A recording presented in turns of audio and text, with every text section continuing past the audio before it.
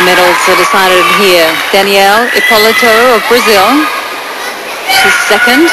She knows the Chinese has performed particularly well on vault.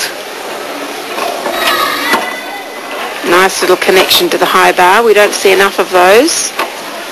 There's giant one and a half. Another full pirouette there.